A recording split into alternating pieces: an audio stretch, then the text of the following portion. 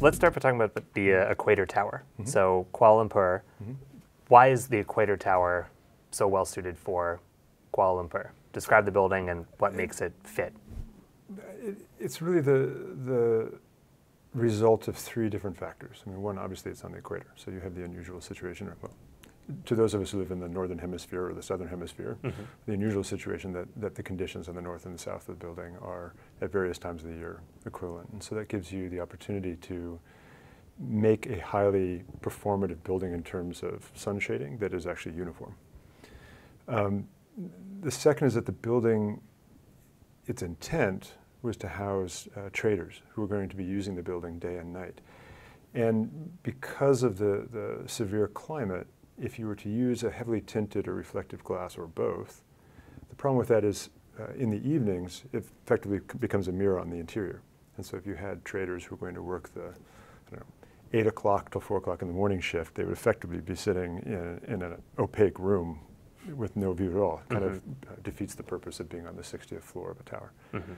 Um, and the third had to do with the fact that it was a Muslim country. Um, and uh, so the call to prayer obviously overloads elevators if you're attempting to bring the hmm. population out of the building to something that may be at grade uh, for mm-hmm. prayer. And so we up to five times a day. Up to five times a day. And so we created these very very large prayer floors um, at, at equipoints through the height of the building, very much the way you would.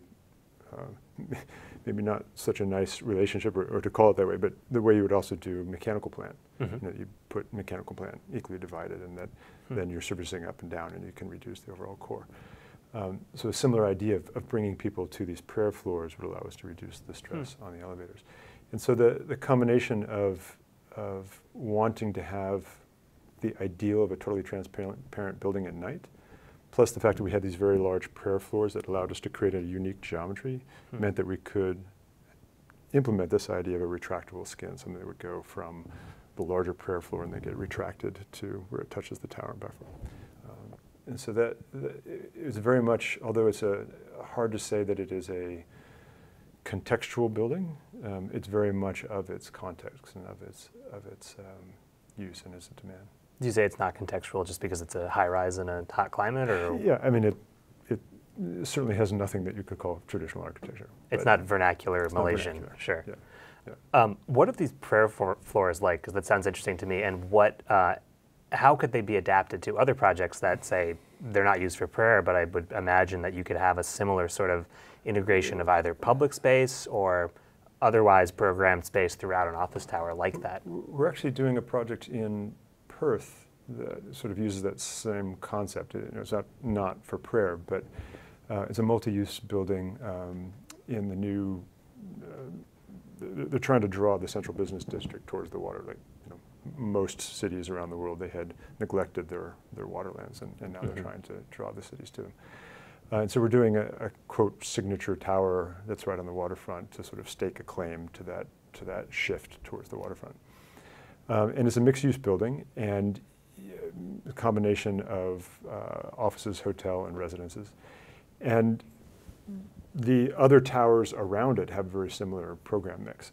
Um, and so we, we argued that in order to make the building distinguish itself, um, and also in a way compete with its neighbors who all had a very, very similar massing strategy of putting all the public elements at grade, to actually take those public elements and put them up in the middle of the building. Hmm. Um, and similarly, then you can have the, the population of the building aggregating to the mi- middle, um, but also the intent of shuttling the public up to that uh, sort of interstitial.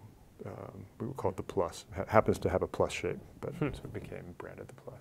How do you make sure that people actually use it? Because for the most part, people don't expect to be able yeah. to go up to the middle of the building it's, like that. It's a, it's a great and valid question. Um, fortunately, there's now rather significant precedence all over Asia. It's mm-hmm. become a rather typical um, typology in Asia that uh, you will have a greeter at the front desk, but you check in and the restaurant and everything is at the top of the building, then you sift down. Mm-hmm. Um, and in the context of this building, there's also a fairly significant population, day and night population that would use the building and use those, uh, those amenities. And so that we, the intent would be, or hope would be, that that enough and its visibility within the city is enough to, to draw the public. Mm-hmm. Um, but for the most part, with the exception of, of the high-end restaurant, uh, which would re- presumably depend somewhat on public use, the rest is anyway really intended, or let's say, it would certainly benefit from, from the general public's access, but it's, it's uh, pro forma is based on the occupants of the building. Tell us about the R6 project in Mhm. Seoul and what makes that a noteworthy project. What should other people be interested to see in that project? it's, it's the world's largest single loaded corridor. Um, you know, it it's basically takes a what is conventionally thought of as a very um, pedestrian American motel typology and then puts it on steroids and tries to make something remarkable out of it. Hmm. The, the project is unusual in that you know, we, we were literally the project on the wrong side of the tracks. The, the whole development sits over the train tracks um, uh, in the center of Seoul. And it was an uncomfortable um, collaboration between private development and, and state-owned Mhm. entities. And in the process, they were going to take over a whole element of uh, low income but owned residences along Hmm. the waterfront in order to bring that development to the waterfront. Um, and you can Owned by the tenants, owned by the, Owned- the owned by residents. t- Owned by the residents. And you can imagine the public outcry when suddenly people's homes were getting demolished for you know, eminent domain, when in reality it was for a for-profit developer, private Mhm. entity. Uh, and so the developer's proposal was to have us make, as I said, the project on the wrong side of the tracks, literally. You know, the whole development was on one side and we were on the other side of the train tracks. Hmm. Um, in which the residents who would be displaced would be given micro units within our building. And perhaps, or I should say, quite cynically, they recognized that those residents would never be able to pay the, the property taxes. Hmm. So they would get them, but then have to flip them immediately. Hmm. So that in a way, the building would then go back Hmm. to being part of the overall development and of sort of luxury apartments and condos. And we therefore had to come up with a strategy that could make credible high-end micro units. Hmm. Um, and uh, in, in Korea, the, the sale of units, are, it's very regulated. And which is a, a, great thing. I think the, the way it's done actually, unfortunately, just puts an enormous amount of new stock that's unnecessary into the market. But Hmm. um, they, they regulate the prices, and so developers must compete on uh, natural ventilation, cross ventilation, views, daylight access, um, as well as a, a, sense of community within the building. So, so it, the intent is that it actually drives good architecture. Mhm. Um, what was interesting about the problem we had is that once you make micro units, they, they kind of almost have none of the above, right? Too, if, you, if you take a core and you put tiny units around the core, they're going to have no cross ventilation, no view, no Mhm. daylight, Mhm. um, no connectivity. no connectivity. And so we, we made the world's biggest single loaded corridor. And we, we took that building and sort of stretched it out, put the cores at either end, and wrapped them in a, in a donut around that. And so the units are incredibly thin, have daylight on both sides, cross ventilation. And, um, Hmm. and there's also these kind of unique elements on the interior of the courtyard, um, little glass pods, and it was simply us playing with a, a loophole within the, the regulations of, of the site that you were not um, punished within the FAR for amenity space. Um, and there was also a loophole in the definition of circulation. So we could create these little pods that were ostensibly part of the circulation and were also amenity that we could station all over that, that central courtyard atrium uh, without it having any detrimental effect to the These are like balconies, or what are they? They're, they're effectively they're gl- glassed-in balconies. Yeah. Um, but because the units were so small, it was important to create relief and to create, you know, move people into the center of the building. And so they were this kind of unusual hanging Hmm. garden of people throughout the, the entire center. So was what you described earlier what happened? Did they end up having to sell their homes immediately because they couldn't Um, afford the well, property taxes? The good news is no. The good news is the development stopped. Um, uh, there were fights between Korean Rail and, and you know, all the, the major players in, in Yeah. Korea about who was going to fund what, and eventually it, it stopped. And, um, so while we were disappointed, I think, with the personal result, it actually, once we understood really what we were engaged in doing and supporting, Hmm. it made us feel a lot better that it Hmm. didn't actually happen. Interesting. Um, is that a concept though that you'd like to apply elsewhere?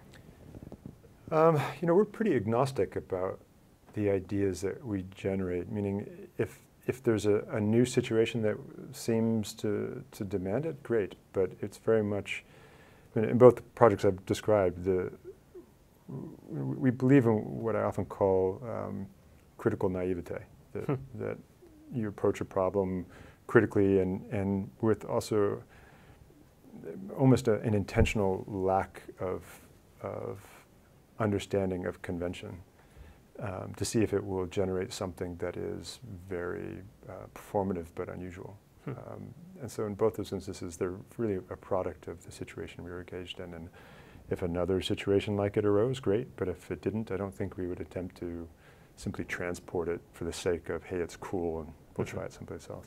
So both the projects you've been talking about, R6 and the Equator mm-hmm. Tower, are both very responsive to some of the particular needs of the tenants. Mm-hmm. How do you go about assessing the needs of your future tenants? Because in some cases, you don't know what they'll mm-hmm. be. They may be at odds with each other if it's a mm-hmm. mixed-use building. What's your mm-hmm. process for that? Um, it depends on the project and it depends on how we've, we've gained the commission. Um, obviously, in a competition, you don't have that luxury. And um, fortunately, most of our work is not done through direct competition. At least it's not, you know, to the extent we do competitions, it's directly with the developer and the brief is, the brief, the user, everyone is really accessible to us. Um, when we don't have that luxury, then we, we literally, in our minds, try to become the proxy user. And sometimes we'll even engage a proxy user, you know, for a museum. It's totally off the topic of CTBUH, but in a museum, sure. we'll often engage um, a museum director, a museum curator to, to act as a foil for the ideas that we're trying to generate. Um,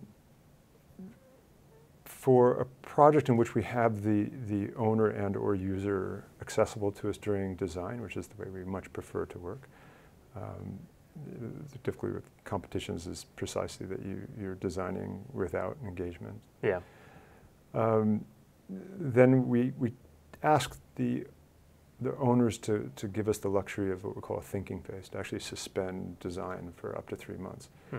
and to just work through these kinds of issues with them. Now, the reality is we tend to be designing and playing in the background. Mm-hmm. Um, and so we're, we're constantly correlating ideas and issues that are coming out of that with potential solutions. But um, what we've discovered, and I think why we have been able to convince subsequent clients to continue this idea, is that the, the clients with whom we've already done it will attest that it actually can accelerate the process. Hmm. That yes, you, you don't have that immediate rush to design that everybody wants. They're, you know, everyone's excited. They're also stressed. They want to get it going. And so to ask, you know, hey, let's slow down. Let's think. Um, there's often a lot of resistance to that. But once the projects uh, issues have been really, really clarified, and everyone can articulate them, and everyone can debate them and understands, you know, on the same page what, what you're trying to do.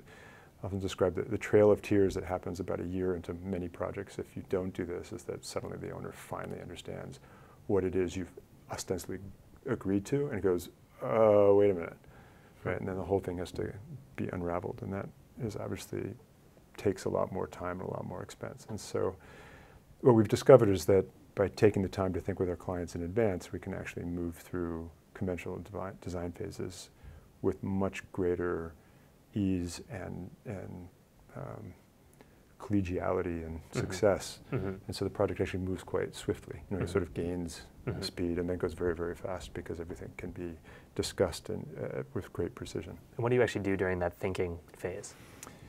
It totally depends on, on the kind of project. Um, often we're doing a pretty intensive programmatic review.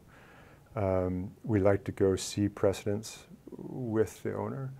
Um, often there's no literal precedent because we're trying to do something new, but so we'll go see things that you might aggregate together. You could say, you know, take a piece of this and this and this might start to look like some form of precedent. Hmm. But actually, um, visiting precedents is less about necessarily learning from them, but creating a common language with the owner. So when you start putting ideas before them, once you get into design, you can say, hey, do you remember what we saw in this building? Do you remember your reaction to it? Maybe it was favorable, maybe it wasn't. Um, it, it, allows you to make reference points that hmm. everybody hmm. knows. Um, and then the third thing that we've done, which typically only in cultural projects, um, is to have uh, a series of seminars that we curate and we bring people from all different uh, viewpoints on whatever it is we're investigating, and some will be um, in favor of certain kinds of ambitions, and some people will be, you know, in terms of technology, we'll, we'll try and get people who are visionaries in terms of technology, and we'll try and bring Luddites who fear what could happen with technology in terms of the digital divide, and allow them to help. Not necessarily, well, to a degree, if you're lucky, it'll help you frame what position you'll take. Um, but it also, I think, gives everyone a sense of confidence that when you move forward, you haven't um, irresponsibly ignored something, and so you, mm-hmm. you can, you know why you're doing it, and you can you can justify why you chose not to do things with much greater clarity mm-hmm. than than you would otherwise be able to do. So we try to do all three of those things and of course they, they feed on each other. The yeah. program review informs what you might go see, but then when you might go see and the kinds of seminars mm-hmm. we hold goes back and edits the program. And um, so it, it ends up being a pretty intensive period. And it's probably obvious why then once you start designing, it actually can move quite quickly. Mm-hmm. What are some architectural trends that you find exciting or interesting? Keeping in mind that, you know, you said you take each project individually, of mm-hmm. course, but are there broader trends that you find encouraging um, or exciting as an architect? I, you know, I, I, think that many my my interests are all over the place. Um, you know, there there are people who are rethinking buildings not as assemblies but as you know sort of unified wholes. So you know instead of uh, kind of industrialized revolution approach to architecture of you know we have a mullion and then we have glass and you know they each has its own purpose and its own materiality, and it's you know they're aggregated in, in this assemblage. Mm. Um, people who are pioneering um, the idea of growing, and I don't mean literally. I mean so you could say it's we're no longer in the industrial age; we're in the biological age, and to some degree there are people who are investigating literally growing, but sure. there are also people like Neri Oxman at, at the MIT Media Lab um, who are by whatever means of of production possible, creating systems that are continuous, that something might go from being um, stiff and opaque and non porous to being malleable, transparent, and porous. And that the continuum changes based on whatever it needs to do at that particular moment. And um, you know, the things that she's producing are completely putting our profession on its head. Like what? Um, it, you know, some of the things are, are, quite nascent. So she's working on on glass printing um, with the idea that you would be able to do anything from um, uh, printing uh, glass both as a, a, structural element and also obviously as a transparent element, but that you could also create micro fissures in it that you could uh, entrain um, uh, bio, bioorganisms within it that could react to the sunlight. Hmm. Um, this is 3D printed glass. It, it is, and, and um, I, I, know her well. and know that she would. She doesn't want to be known as the 3D printing person. It's just uh-huh. that 3D printing at this point is the the the means that is sure. most um, in terms of non-biological processes, but that can still create something that is a, a whole, not with parts. It's, it's, the technique that is best suited to it at present. Um, but she, I don't think she has any interest in sure. 3D printing. So is that something that you think about for designing buildings then? Thinking of a building as, as a whole? Although obviously um, it's going to be composed of individual parts. I, How does that influence you as an architect? I, I don't know that it influences me. I mean, if anything, my career is a much more traditional one you know, I hope that we're we're pushing boundaries within architecture, um, and that would definitely be our aim. But I think she's changing architecture as we're pushing boundaries. You know, so it's hard for me to say that sure. that there's anything that we are literally applying. But how do you think that'll change the field then if you go forward, you know, a couple decades or something? Do you see this? How do you see it changing architecture? Well, I, I think it could literally change how we perceive the, the built environment as a whole.